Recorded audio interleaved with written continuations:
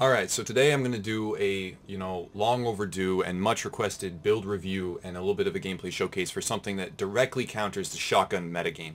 Now, it's not a, a 100% complete counter. You can still die, but what it does is it protects you, uh, you know, a giant amount from the shotguns. There's a lot of different mechanisms going into this build, and I think it's really functional, and I've started using it a lot more now. So if you don't like dying in one hit to shotguns, this can prevent that. It, it 100% can you have to use it correctly, and I'll go into, you know, the ins and outs of how to use it in a, in a second, but I can talk about the gear, talk about my weapons, I'll do my, my skills and my talents, and then I'll actually show some organized, you know, testing in the Dark Zone, and then some gameplay. The gameplay doesn't actually have me facing any shotguns, which is, you know, counterproductive to demonstrating the build, but I just want to say whenever I'm looking for something in the game, it just seems like it never appears. So we fight some players, and it's actually a good demonstration of how the build performs not only against shotguns, because, you know, in the organized demonstration with my buddy Jay Castro, you can see how well it performs against shotguns. It also shows that the build is viable against any other build as well. Uh, it's really functional. It's really fun. So what it's going to be using is four-piece Hunter's Faith. Now, up until this point, I've been told by people, and I've also thought myself, oh, Hunter's Faith is useless. But it's not. It's actually something, it's a hidden gem, and right now with the shotguns you know, functioning the way that they are, Hunter's Faith is amazing. So I'm going to talk about all the Hunter's Faith pieces, then my Vigorous Chest, then my, my Sentry's Call holster, and that's just because it's one of the best things I have in that slot. But you could be running something like, you know, Savage Gloves with the Vigorous Chest if you wanted to in 4-piece Hunter's Faith. You could even swap out uh, Vigorous if you really wanted to, but I would advise against that. It's kind of, you know, integral to the build. So talking about the Hunter's Faith, I had this backpack. It has a really great firearms roll. It has critical hit damage. Now, this is something that a lot of people may want to switch. Now, I don't have skill power on either my mask or my backpack in this build, which is something that a lot of people are going to want, and you should probably run with booster shot. Now, I don't have that, but at the same time, I think this is just as viable. I am not the healing character. In a squad, I'm not going to be the one dishing out the heals. Uh, that's our buddy uh, Hoof. So I don't really need that high skill power, but at the same time, if you are running solo or something like that, then definitely switch out the critical hit damage on your backpack and the critical hit chance on your mask for skill power. That'll put you right up to about 25, 26, 27,000, and then your booster shot will heal for a much bigger amount. You're going to have increased survivability. Your pulse is going to be more potent, so that's something you should do if you're going if you don't have an organized squad with individual roles. But in my case, uh, running with this build, I am going to be dishing damage as well as mitigating damage, and the heals are going to come from a different location. So I'm okay with this. The, the critical hit damage is a large chunk, and that's why I've chosen to have it on my backpack. Now, uh, the Great Firearms roll with, with the critical hit damage makes this a good piece. First Aid Self-Heal, fantastic roll there. And Pulse Duration, you know, fantastic roll there. So this is damn near perfect in terms of a backpack. Uh, helps me with survivability because even though my skill power is low, the First Aid Self-Heal helps a lot. And the Pulse Duration is nice and pairs with my, you know, DPS burst mechanic.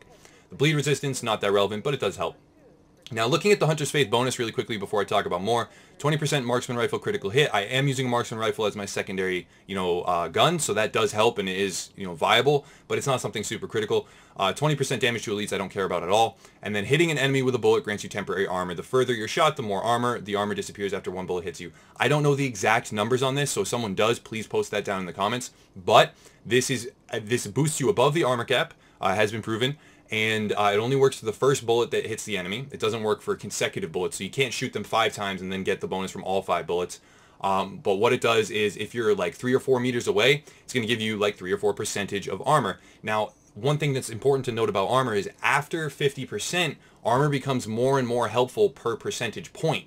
And after 75%, uh, 1% of armor is not equivalent to 1% of damage reduction. It's actually much, much, much greater uh, more damage reduced per percentage of armor.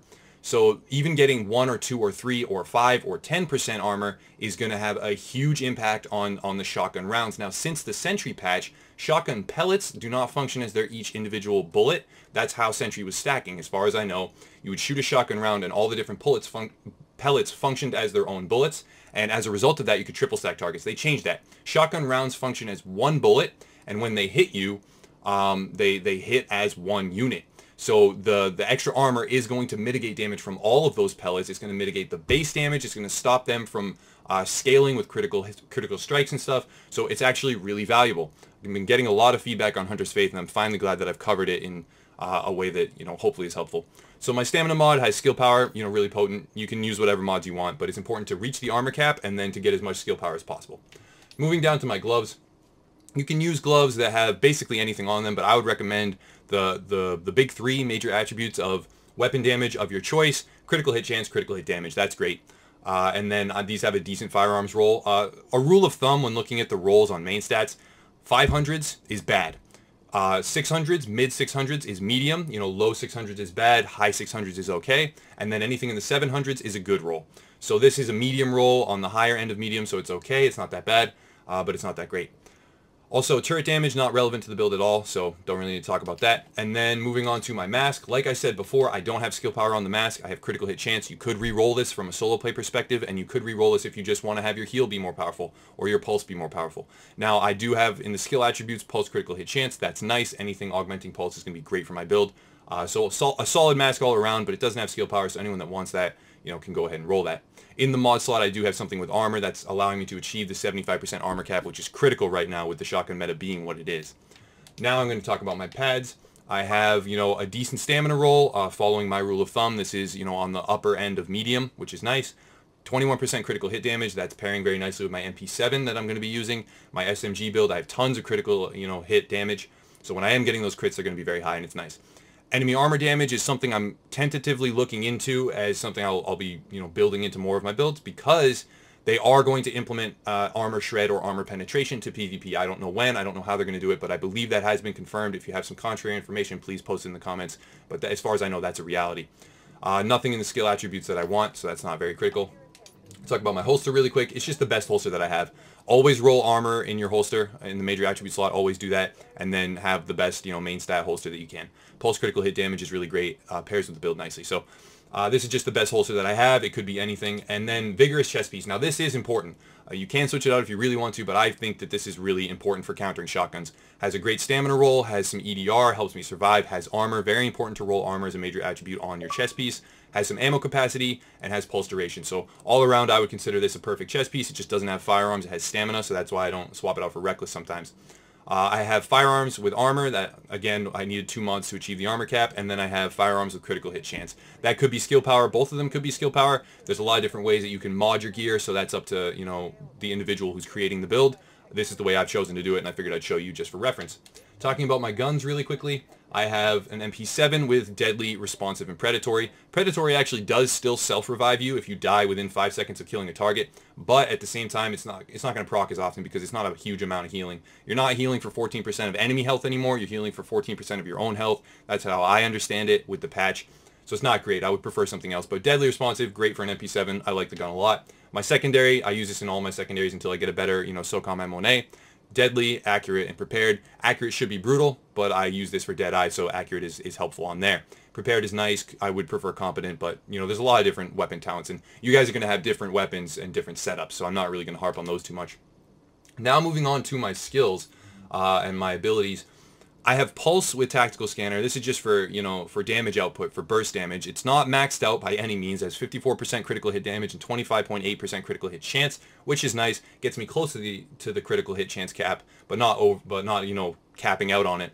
Uh, and then I have, this is, you know, very important, booster shot on my heal. Now, despite the fact that it's doing a severely reduced amount, instead of 32,000, 19,000, that's still helpful. It's still boosted by, you know, the first aid self-heal on my gear.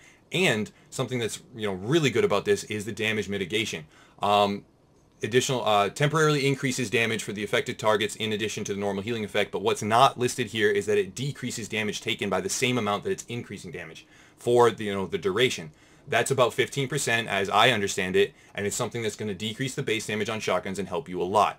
Okay, so that's something that's important for the build. Now moving on to the talents, I actually have the most important talent is critical save. Now I use this in every build, but it actually pairs so nicely with Hunter's Faith and with uh, Booster Shot because, you know, using a medkit at low health and actually is, I've been led to believe actually by some subscribers. So if this is true, please let me know. And if it's not, please disprove it, that this will proc with Booster Shot if you're at low health and this will also proc with medkits and support stations. So any healing that you receive is going to trigger critical save critical save in the lower health segments.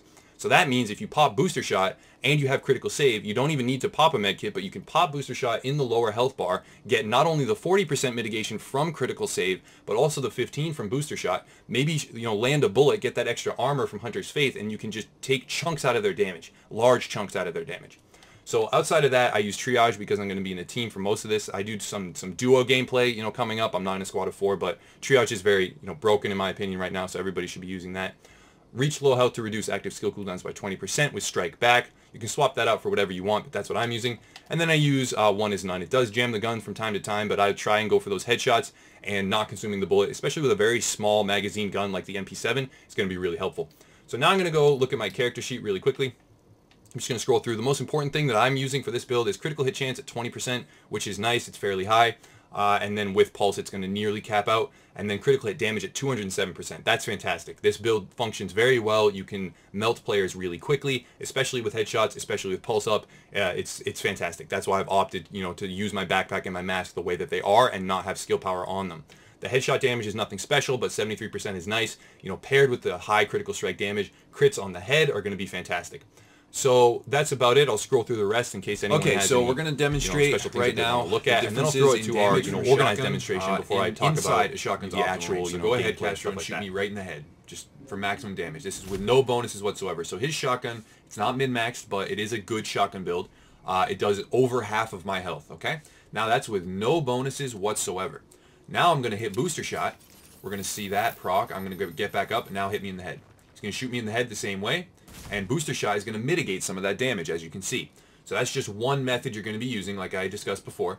Uh, and there's a lot of different ones you can draw on. So now, utilizing the four-piece Hunter's Faith bonus, if I back up all the way to here, or actually, you know, even from right here, uh, this is a decent range. You're going to be fighting players from this range, you know, very frequently.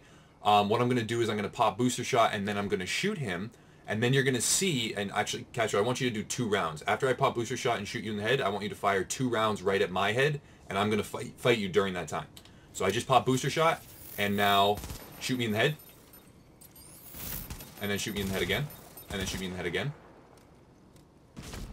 And then, yeah, it would take him many more rounds. So it's not a perfect demonstration. You know, we're, we're lagging a little bit in how fast we do it. But as you can see, I'm doing damage to him, uh, you know, substantial damage and he's doing damage to me, but I'm mitigating a lot of that. So now I'm going to pop my, my med kit, and I'm going to pop booster shot. Go ahead and shoot me in the head. That does not much. Go ahead, shoot me in the head again. Boom. As you can see, it's not doing that much damage. Now, get me down to below one bar of health, Castro. All right. So I pop the heal. I pop pulse. I drop a shot on him. Now, and then I pop booster shot. Go ahead and shoot me in the head three times. As you can see, there it is. I'm mitigating huge chunks of damage. Now, if I can time these bonuses and pair them together correctly, I can mitigate tons of damage. Um, I'm procking, you know, all my different bonuses. Go ahead, shoot me in the head. Yep, go ahead, do it again. There we go. So as you can see, uh, he finally did kill me, you know, but when you use these bonuses, so critical save with booster shot, with Hunter's Faith. There's a whole bunch of different things that are going to mitigate damage, and stacked on top of each other, you can counter the shotgun meta. Uh, it's very difficult to do. I'm not telling anyone that this is going to be your, you know, easy, you know, cookie cutter, one-shot deal. You're done. You never have to worry about shotguns, but there are methods to beat them. Uh, one thing that's, you know, very important is changing your actual play style. You know, you want to gain range. So Hunter's Faith, another thing that I can demonstrate is that the Hunter's Faith bonus stacks the farther away you are. And if you can hit a bullet from 15 meters away, you're going to gain a huge amount of armor that's going to basically make their next shot uh, not worthless, but not kill you. And for anyone with a min-max shotgun build, uh, that's going to be really important because you're going to save yourself that, that split second in which they would kill you right off the bat, but you're going to get that time between shots that they have. So as you can see, Castro's there. If I can land a couple shots, I now have my Hunter's Faith bonus. I'm going to climb up on top of this Humvee. I'm also going to pop booster shot, and now I want you to shoot two shots in my head. Keep going, keep going. Keep going. Keep going. There, as you can see, I'm tanking a ton of shotgun shots. Um, it's not perfect. That's not like how every single fight's going to go. But using all these different methods, Hunter's Faith with booster shot, with critical save on your medkits, you're, you know, you're capable of, of sustaining a ton of damage. Go ahead and shoot me. See, I, I'm mitigating tons of damage. Now, if I did not use these measures, if I didn't use Booster Shot, if I didn't use Critical Save, and if I didn't use Hunter's Faith, I would actually, you know, die in two shots. So go ahead and shoot me. You know, I'm just going to keep demonstrating. I can keep popping these different mitigation techniques, and it just helps a lot. Shoot me again. I can keep popping more. I actually have a damage reduction signature and I can tank tons of shotgun shells. So it's not perfect. I know some people are going to say, oh, well, a perfect shotgun build is still going to, you know, shred you no matter what. I guess maybe you're right, but I have found that this helps. It helps a lot. And when I use it properly, it just, it totally, totally increases my survivability by like 300% against shotgun builds. So I'm actually going to flip it over to some gameplay now, and uh, I'll talk over that as well, and which in which I'll demonstrate this, you know, against other players because uh, one thing that's important to note is that this is, while, you know, primarily a defensive build, it still has the potential to dish damage because of, you know, I'm pairing it with, he just killed me. Uh, I'm pairing it with a marksman rifle, you know, and I do have the Hunter's Faith bonuses and stuff, and there's a lot of different things. So thanks for watching, and I'll flip it over That's to the what gameplay. would happen.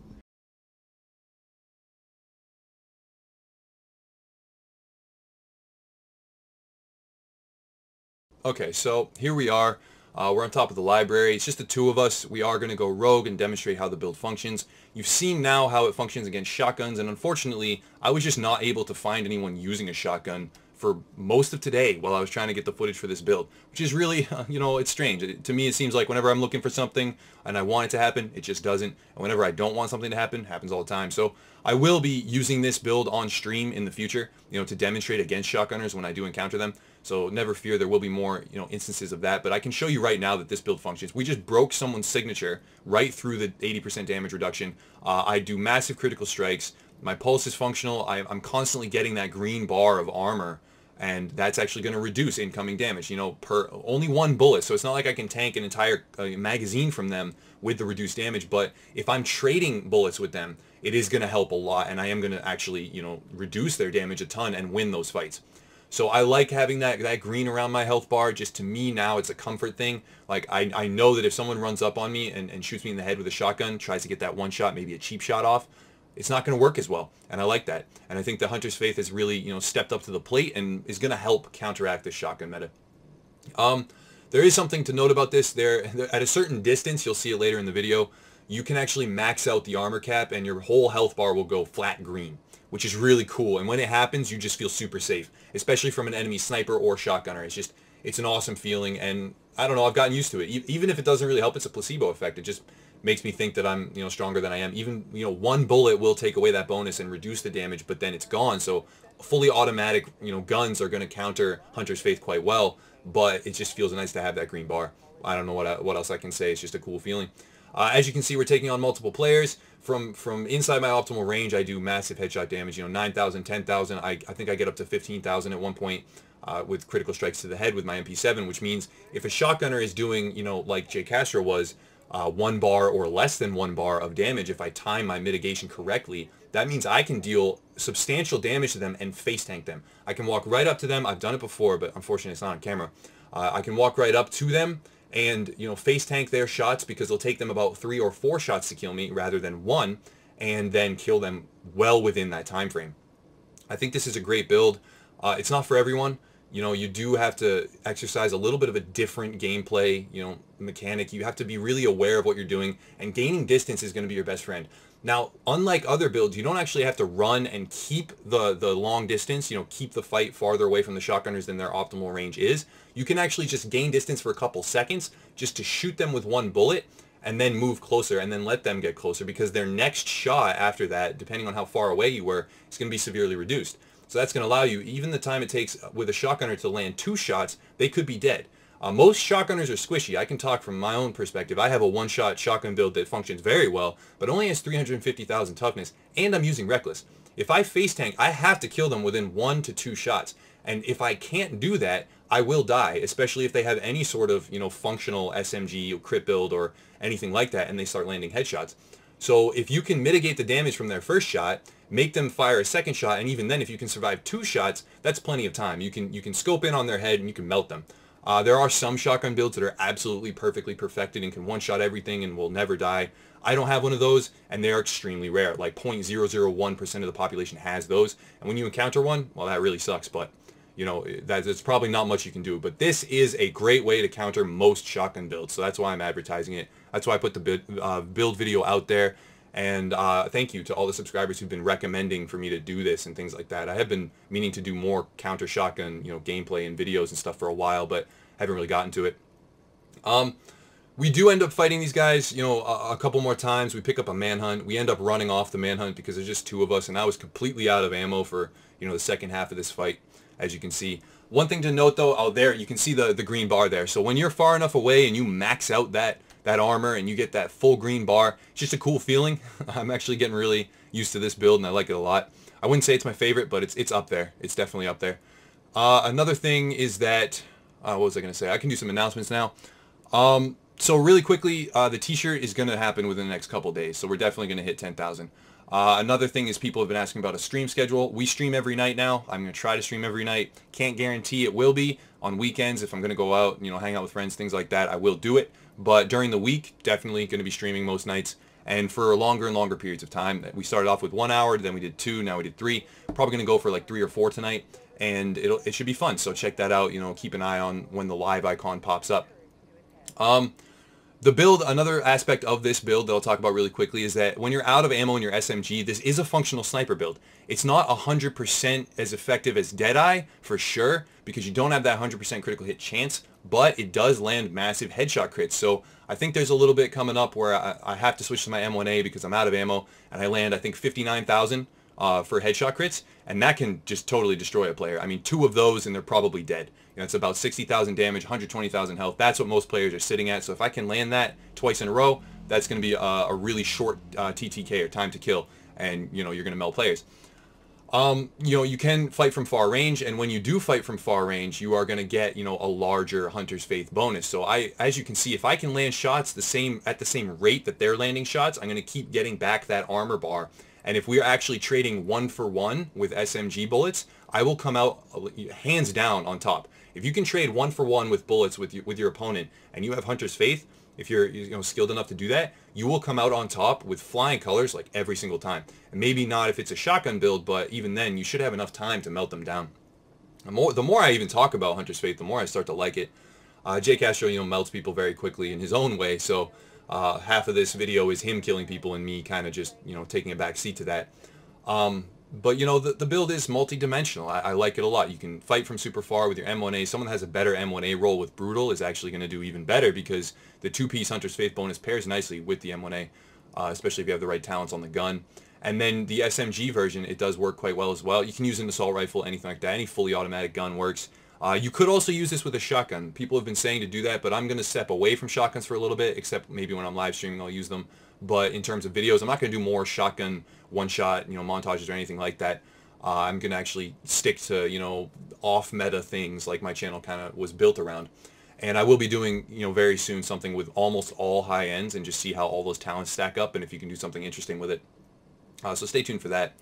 So that's a, about enough gameplay. You can see it functions quite well. there is a sticky bomber there, so the armor itself does not help with sticky bombers, but me and Jay Castro actually both running booster shot, which means almost all the time we're getting this, this bonus mitigation.